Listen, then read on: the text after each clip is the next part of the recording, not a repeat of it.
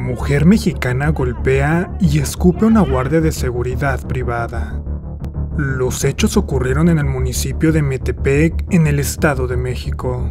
Según informan, la guardia habría impedido el ingreso de la trabajadora a un club de golf local, lo que desató la furia de esta, quien golpeó y escupió en varias ocasiones a la guardia.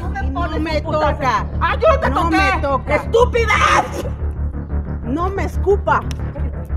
No me escupa. ¡Suéltame! No me escupa. ¡No vuelvas a hacer esto! No me ¡Lo hacemos escupa. todo lo grande que No quieras! me escupa. Te vuelvo a escupir si quiero, estúpida. No me escupa. En redes sociales, varios usuarios señalaron que la apodada Lady Escupitajo era funcionaria pública. Sin embargo, el gobierno local informó que la mujer no tenía relación alguna con el ayuntamiento y que reprueban energéticamente este tipo de violencia.